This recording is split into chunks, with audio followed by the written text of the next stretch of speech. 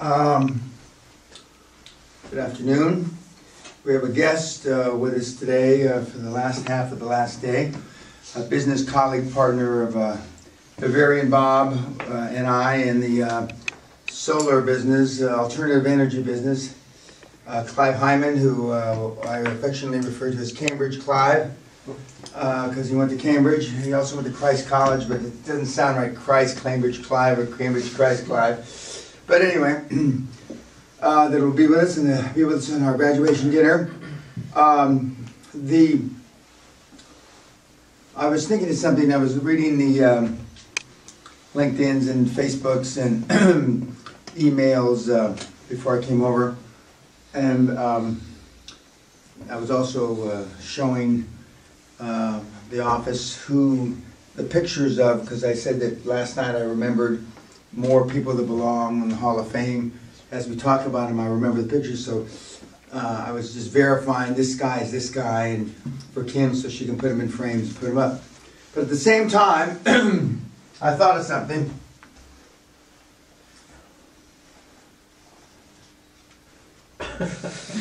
this is in my office. It hangs prominently over my door as you walk in or you walk out. Not everybody notices it. This was presented to me August 9th, 1979. The day before my 34th birthday. 55, 65, 75. 34th birthday, just to make sure. Um, the age of a couple of you in here, more or less. And it says presented to the Hatchet Man. And this, along with this, which I've talked about already, and a couple other things, are my most prized possessions. And why did I get that? From uh, the corporate leaders and colleagues that I was in business with at the time.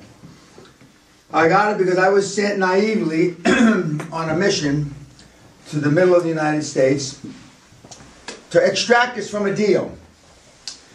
Very much like Marcus, the beat up, used, uh, used uh, world, former world class athlete that only uh, gives me a layer at a time about a deal. And there's really 46 layers, and he only gives me the first two or three. When I was sent there many years ago, I was only told the surface stuff. So I got in a corporate plane and I landed in Wausau, Wisconsin. When I got when the plane opened in Wausau, Wisconsin, the humidity was so heavy that, that in those days I had a Samsonite overnight bag. The water formed on the Samsonite, Samsonite plastic uh, case.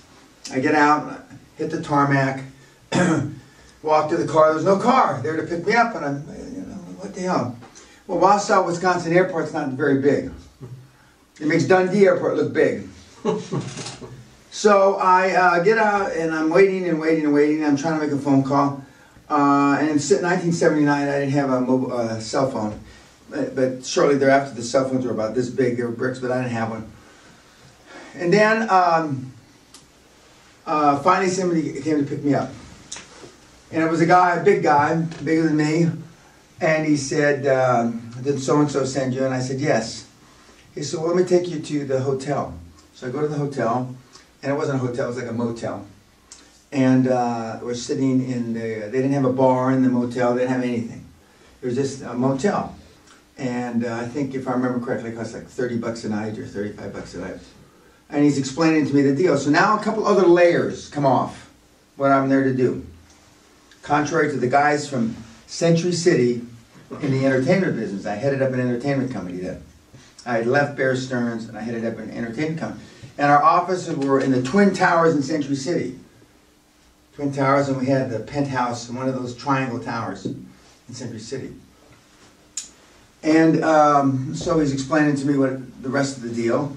He gets through seven or eight or more, nine more layers of the deal. And I said, uh, I'm thinking to myself, I wouldn't have gotten a fucking plane if I'd known all this to come here. Knowing that the guys that sent me already knew all this information. But I'm dispensable. I'm cannon fodder. Doesn't make a fuck. They didn't expect me to come back.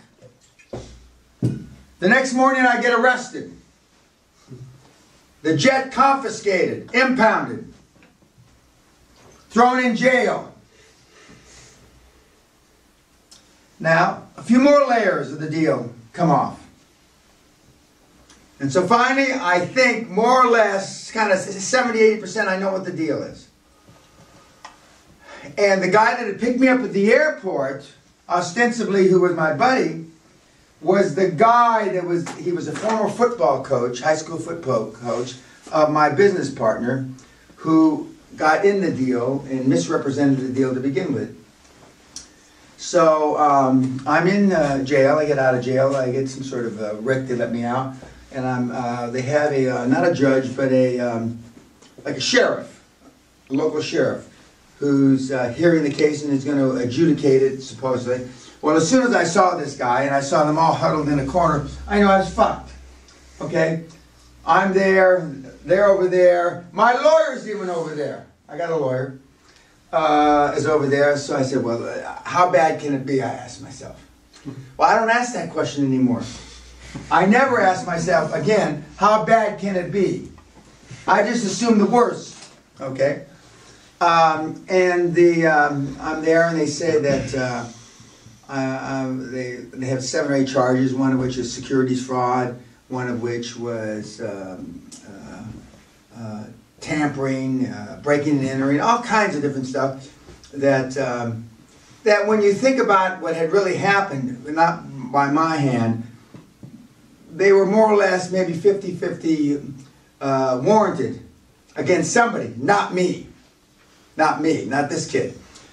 So make a long story short, the reason why I got that when I came back, well, number one, I came back, and I often think that they sent me in the little jet because they didn't expect ever to get the jet back again.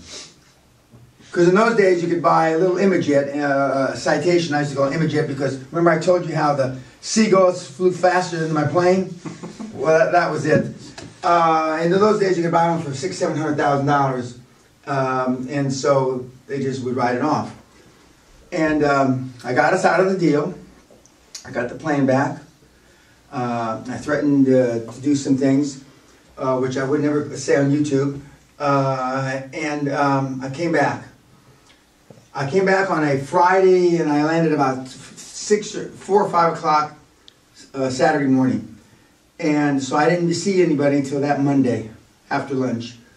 And um, I came back and um, I told them that I had these papers signed and I had extracted this from the transaction and all this. And um, first question they wanted to ask, but they didn't. They asked later, well, how did you do that? They wanted to know. And I said, it's not important. Uh, then the lawyers asked, what's our liability? What did you promise? So now it's flipped full circle. It's gone from, they didn't give a fuck if I ever came back, one. They didn't expect me to come back, two. Now they're worried what I could have possibly agreed to They let me off the hook, that they took, let me out of jail. They let me come with a plane. And I, you know, I wasn't beat up or anything.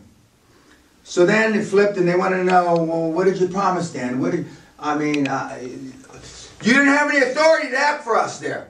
So it kept on moving, like a, like a Bauer deal. The deal kept moving. Now I had no authority to make any deals. You're liable for those deals if you made them, Dan. It's your fucking money, not ours. And it kept getting worse and worse and worse and worse.